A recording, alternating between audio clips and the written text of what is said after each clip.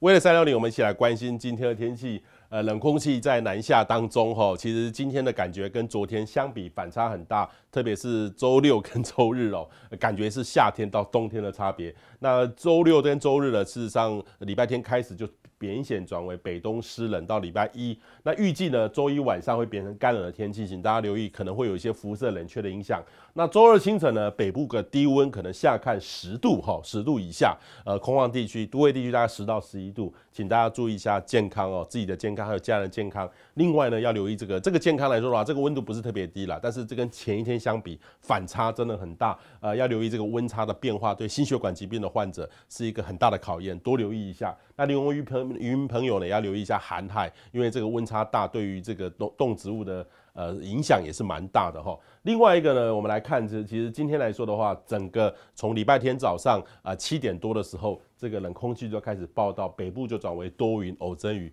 呃，到中午的时候就开前就开始下雨了。那接下来冷空气呢，在礼拜呃天晚上已经到到达南部了哈。其实这个一步一步进低，这个其实在礼拜五的时候，整个。都是吹南风，礼拜五、礼拜六吹南风，反差非常大。特别请大家留意一下南风跟北风的差别，这是对我们的感觉哈，或是身体健康都是一个很大的压力。那预计呢，在的到了这个礼拜一清晨的时候，这是礼拜一清晨的时候，这个还是有云系，还是有水汽，北东还是比较湿冷冷的感觉，呃，还是冷空气持续发挥当中。那预计呢，在礼拜一的晚上开始，这个就是。预期这个水汽就会明显稍微减弱一些些，呃，不过这时候要留意两件事情，一个是辐射冷却效应，可能到了礼拜二的清晨可能会比较冷哦，会急急速的降温。我们说的低温就指的是礼拜二的清晨，那礼拜一呢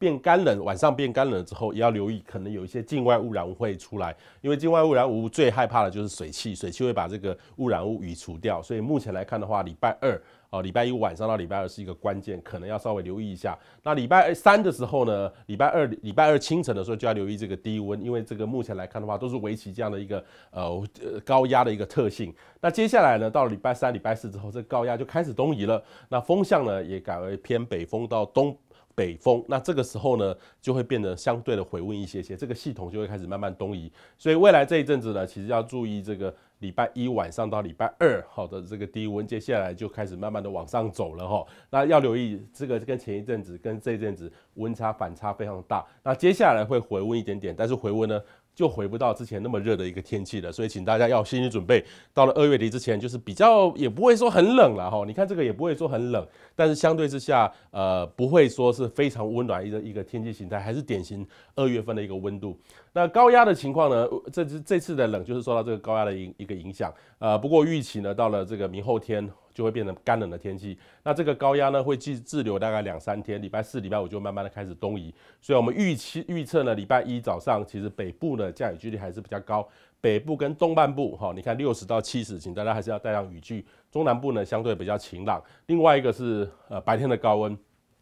北部呢，预期是十三四度左右而已，呃，花莲十八度，然后南部来说的话，可以到二十度左右的一个温度，中部啊十五到十七度，所以这个其实南北是有明显的温差哦。这个大概都要冬天的装扮，这边呢其实还要还是一个秋冬的装扮。那这个南北至少差一件外套的这个差距，要留意一下这个差别。那清晨的低温呢，要稍微注意一下。晚上的低温，呃，预计呢这个北部空旷地区的低温会拉到九度哈，那都会地区十度，那中部呢十到十一度，南部来说的话十四度，这真的是有点冷的感觉。所以请大家留意这一波哈，周礼拜一晚上到礼拜二的时候，这波的变话。真的是会蛮冷的，请大家注意自己还有家人年长者的身体健康。以上是今天为了三六零，我们明天见。